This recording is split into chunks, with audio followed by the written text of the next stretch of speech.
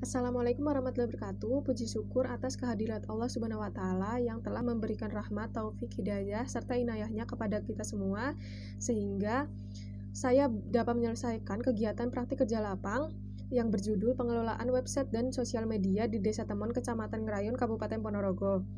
Uh, lap, uh, praktik kerja lapang ini merupakan salah satu syarat dan untuk mendapatkan gelar sarjana strata 1 di uh, program studi agribisnis Fakultas Pertanian Universitas Trunojoyo Madura. Praktik kerja lapang ini dilaksanakan pada tanggal 1 Februari 2021 sampai dengan 2 Maret 2021. Kelancaran pelaksanaan kegiatan ini tentunya tidak lepas dari bantuan beberapa pihak. Oleh karena itu, saya mengucapkan rasa terima kasih setulus-tulusnya atas bantuan baik moral maupun materi kepada yang pertama Ibu Novidiana Badrutamami SPMP selaku dosen pembimbing saya serta Bapak Andri Kisro Sunyigono SPMP PhD selaku dosen uh, penguji saya. Untuk pembahasan pada video kali ini, yang pertama yaitu latar belakang yang membahas pentingnya pengelolaan media sosial dan website. Lalu yang kedua, tujuan dan manfaat uh, membahas tentang tujuan dan manfaat yang diadakannya kegiatan PKL. Lalu yang ketiga, tinjauan pustaka merupakan referensi laporan. Lalu yang keempat yaitu metode pelaksanaan yang membahas tentang metode yang digunakan dalam pelaksanaan kegiatan PKL. Lalu yang kelima, hasil pembahasan. Hasil yang dapat uh, hasil tersebut yang didapatkan selama kegiatan. Lalu yang keenam, yaitu kesimpulan yang membahas tentang kesimpulan dari laporan kegiatan. Pembahasan yang pertama yaitu tentang latar belakang.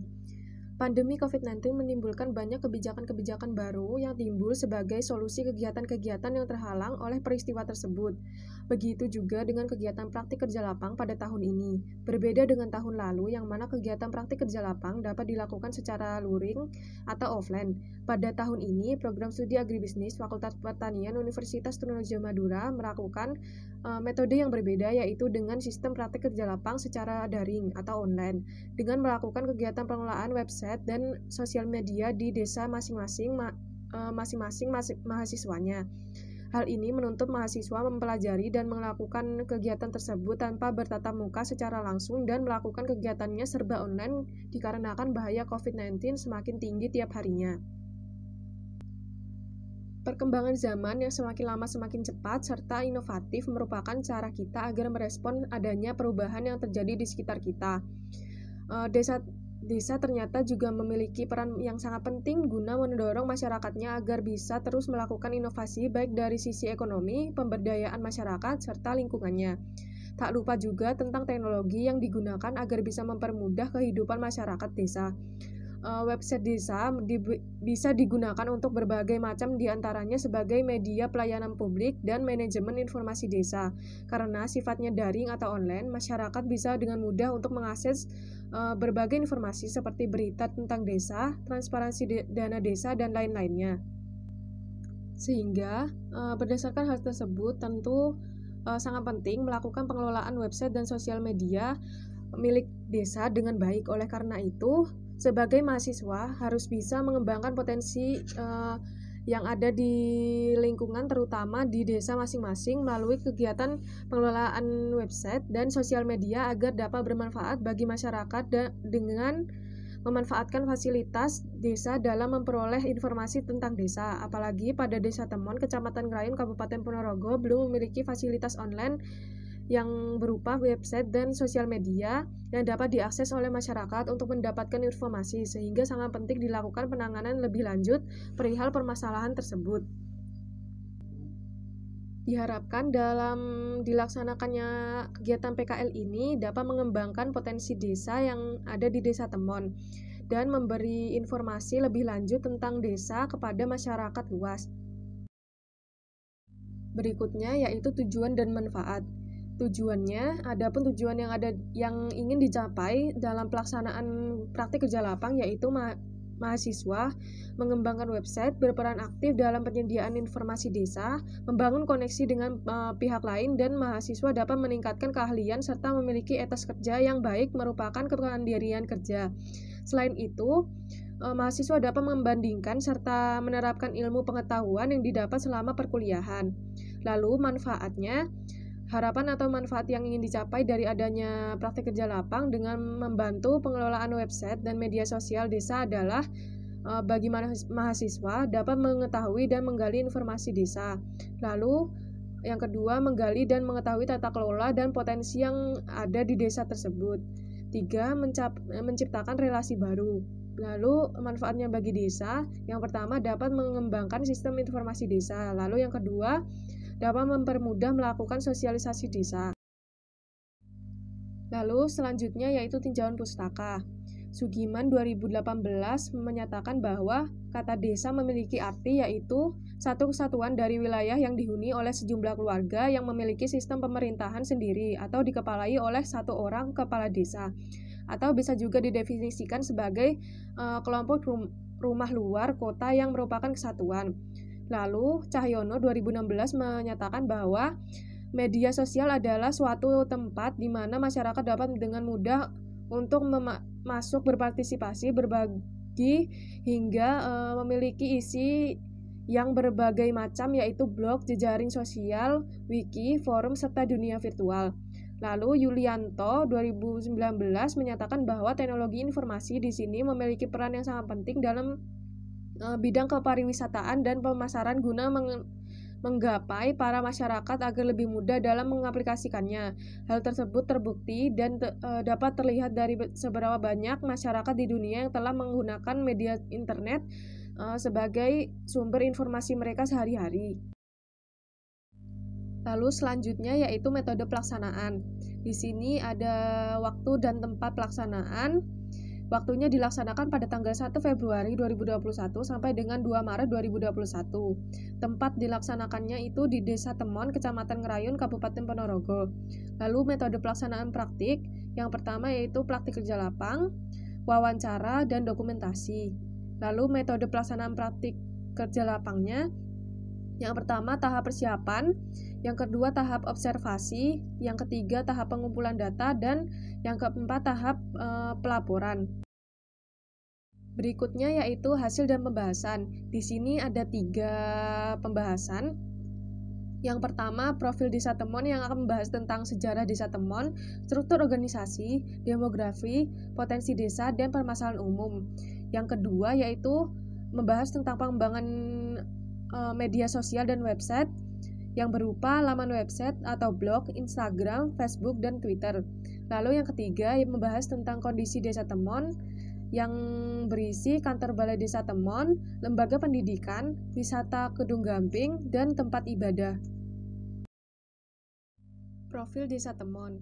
Yang pertama yang akan dibahas yaitu struktur organisasi pemerintahan Desa Temon uh, yang memiliki kepala desa bernama Joko Prasetyo ST Lalu Sekretaris Desa Edi Hartoyo, Kaur Perencanaan Rohma Aprilia S, Kaur Umum TU Siti Nurjana, Kaur Keuangan ya Yahman, lalu Kasih Pemerintahan Mulyadi, Kasih Pelayanan Arif Santoso, Ka Kasih Kesejahteraan Tukaji, Kami Tua Duku Kerajaan Suja, Sujanto, Kami Tua Duku Ketro Soekarno, lalu eh, Kami Tua staf kami tua dukuh klitik yaitu Heru Setiowe.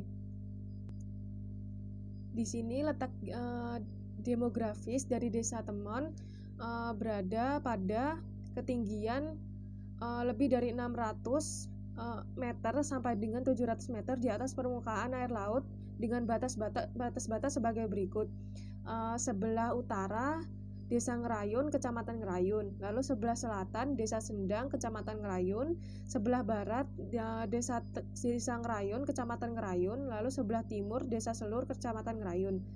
Lalu Desa Temon ini memiliki wilayah lebih dari 12.595,24 hektar yang terbagi menjadi uh, luas tanah yang menurut kepemilikan uh, total luas e, tanah desa yaitu 772,8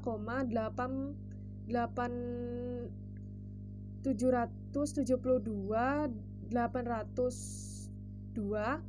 802,143 hektar.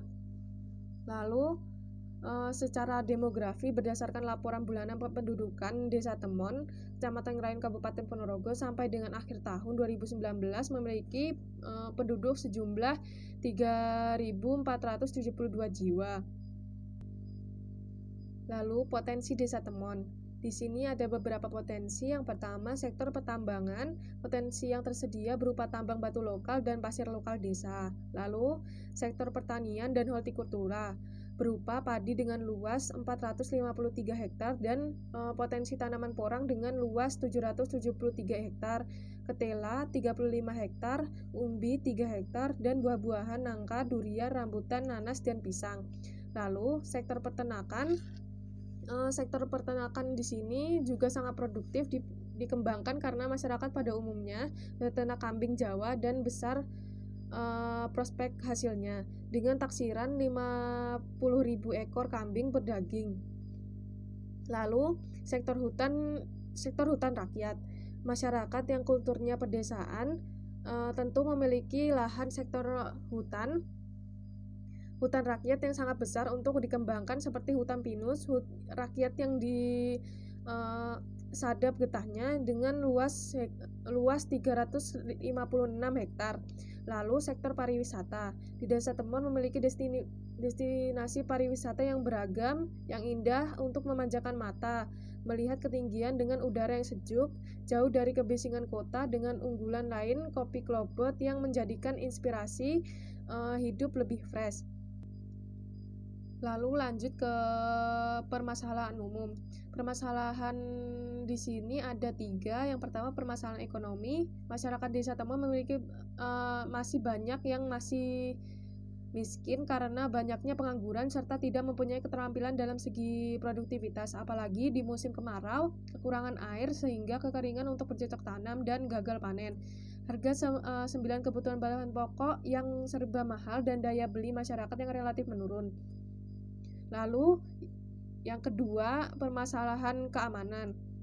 Kesadaran masyarakat tentang siskambling menurun dan kurang sadarnya masyarakat tentang membuang sampah di uh, sembarang tempat yang menimbulkan indikasi lingkungan kumuh. Lalu permasalahan budaya. Sering dengan seiring dengan perkembangan zaman dan teknologi banyak pengaruh budaya barat yang sangat pesat, maka budaya tradisional yang ada di masyarakat seolah-olah uh, hingga terpendam hingga terpendam karena dilupakan oleh kesadaran para generasi muda yang tidak peduli terhadap budaya warisan nenek moyang. Selanjutnya, kita akan membahas tentang pengembangan media sosial dan website. Yang pertama yaitu laman website kita ya atau blog uh, akun blog ini rutin mengupload artikel tentang kegiatan rutinan potensi desa maupun rincian profil desa. Sebelumnya, Pemdes Temon belum memiliki website sehingga harus dibuat terlebih dahulu pada saat kegiatan praktik kerja lapang uh, ini berlangsung. Blog ini dibuat pada bulan Februari 2021 dengan alamat http uh, Pemdes Temon Pemdes Trip Temon 55.blogspot.com Adanya blog ini diharapkan bahwa masyarakat semakin tahu tentang profil desa, kegiatan desa yang dilakukan eh, dan juga potensi-potensinya. Lalu selanjutnya Instagram. Instagram merupakan e, media sosial yang sekarang ini banyak sekali digunakan oleh masyarakat Indonesia, tak, tak terkecuali dengan warga desa Temon yang banyak terdapat anak-anak muda dan sering menjelajahi sosial media satu ini. E, desa Temon juga membuat e, akun Pemdes Temon untuk menambah wawasan tentang berbagai macam kegiatan yang selama ini dilakukan oleh Pemdes Temon. Akun Instagram ini dibuat pada pada bulan Februari 2021 dengan nama akun @pemdes pemdes uh, underscore temon dan diharapkan juga bahwa Pemdes Temon akan terus berkembang dalam bidangnya uh, dalam menyampaikan informasi. Lalu selanjutnya yaitu Facebook Pemdes Temon. Uh, bukan hal umum bahwa Facebook merupakan salah satu media, media sosial yang paling banyak diakses oleh orang-orang di seluruh dunia. Maka dari itu, uh, dimanfaatkan juga oleh Pemdes Temon untuk menyebarluaskan informasi terkait desa Temon dengan mudah dan menjamin banyak yang dapat mengaksesnya dan juga akun Facebook Pemdestemon ini dibuat pada bulan Februari 2021 dengan nama akun Pemdestemon Ngerayun. Diharapkan semakin rutin Pemdestemon mengunggah dokumentasi dan uh, informasi di akun Facebooknya, semakin juga semakin banyak pula yang akan mengenal lebih rinci tentang Desa Temon. Lalu akun Twitter Desa Temon. Uh, seperti akun-akun yang lain, Diharapkan semua warga desa Temon juga dapat menerima informasi baik bisa dari berbagai situs sosial media. Akun Twitter Pemdes Temon dibuat pada bulan Januari 2021 dengan nama akun @pemdestemon, @pemdes. Kondisi Desa Temon Desa Temon merupakan salah satu dari 11 desa yang ada di Kecamatan Ngerayun, Kabupaten Ponorogo. Jarak desa Temon dengan pusat pemerintahan Kecamatan Grayun kurang lebih 4, 4 km dengan jarak tempuh selama 10 menit. Sedangkan jarak e, dengan ibu kota Kabupaten Ponorogo sekitar 33 km dengan makan jarak tempuh sekitar 60 menit. Secara demografi berdasarkan laporan bulanan kependudukan Desa Temon Kecamatan Grayun Kabupaten Ponorogo sampai dengan akhir tahun e, 2019 ini memiliki penduduk sejumlah 3.472 jiwa. Uh, lalu kebanyakan uh, masyarakat di desa Temon ini merupakan uh, petani yang memiliki beberapa komoditas yang sekarang ini gencar dibudidayakan oleh warga.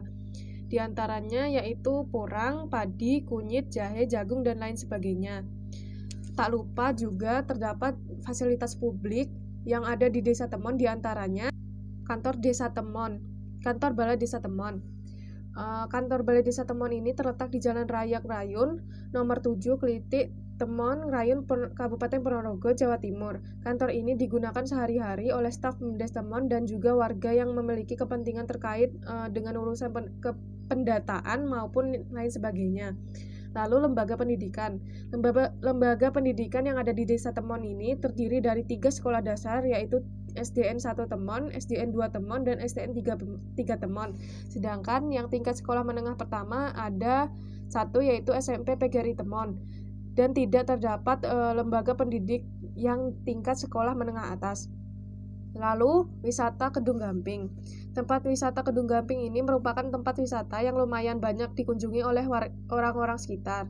Pada zaman dulu, kedung ini umum digunakan untuk lokasi mandi maupun mencuci tetapi dapat digu, uh, tidak dapat dipungkiri bahwa di sana juga ternyata memiliki air yang jernih dan pemandangan yang cukup indah. Lalu tempat ibadah. Tempat ibadah yang di, ada di Desa Temon hanya ada masjid karena hampir seluruh warga Desa Temon merupakan penganut agama Islam sehingga tidak terdapat tempat ibadah lain dan juga masjid masjid yang ada di Desa Temon ini setiap duku itu memiliki masjid masing-masing sehingga tidak kesulitan dalam mengaksesnya. Yang terakhir yaitu kesimpulan. Potensi yang dimiliki oleh Desa Temon yaitu sebagai sebagian besar masyarakat Desa Temon pada umumnya bermata pencarian uh, sebagai petani dan buruh buruh tani dengan memanfaatkan lahan yang masih kosong termasuk diizinkannya mengelola tanah perhutani sehingga masyarakat memiliki tambahan penghasilan. Tambahan masih penghasilan tambahan masih memegang kuat budaya gotong royong serta masih berjalannya dengan baik kelembagaan di masing-masing lingkungan sehingga masyarakat tetap terjalin kebersamaan dan keharmonisannya dalam hidup bermasyarakat serta masih banyak uh, terdapat komunitas kesenian des kesenian desa yang berupa paguyuban seni karawitan tradisional. Sedangkan permasalahannya yaitu masyarakat desa Temon masih banyak yang miskin sehingga banyak pengangguran serta tidak mempunyai keterampilan dalam segi produktivitas. Lalu kesadaran masyarakat kurang tentang membuang sampah di sembarang tempat yang menimbulkan indikasi lingkungan kumuh. Lalu hingga tentang budaya tradisional seolah-olah terpendam karena dilupakan. Pengaruh adanya pengelolaan website dan sosial media ini telah dikembangkan di Desa Temon membawa dampak positif dan apresiasi yang besar dari masyarakat. Rasa antusias dan lebih mengedukasi masyarakat tentang program kerja yang ada di yang dilakukan oleh pemerintah Desa Temon serta lebih up to date dalam memperbaharui tiap-tiap informasi kegiatannya. Terima kasih, demikian presentasi dari saya. Mohon maaf bila ada salah kata. Bila taufik wal hidayah, waridwal inayah. Wassalamualaikum warahmatullahi wabarakatuh.